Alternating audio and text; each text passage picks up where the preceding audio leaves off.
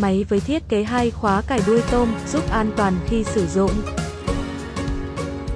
Khung máy được thiết kế bằng sắt V với chân trụ hình vuông, giúp máy chắc chắn và không rung lắc khi dùng. Logo Takio được dập nổi trên máy, chống hàng nhái kém chất lượng. Motor điện 1 pha 2.2 kW, 3 mã lực. TV chống giật bảo vệ máy. Thùng có thể tháo rời, tiện dụng cho việc vệ sinh sau khi sử dụng.